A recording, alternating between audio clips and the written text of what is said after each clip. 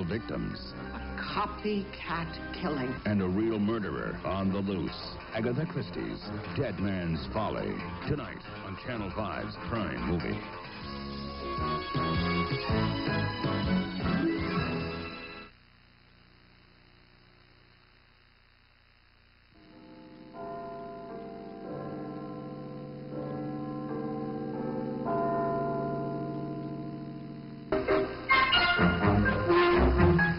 Next on the 10 o'clock news, federal investigators head for Dallas and some answers to another deadly plane crash, a possible historic breakthrough in Poland's labor unrest, and a police officer is shot in Prince George's County.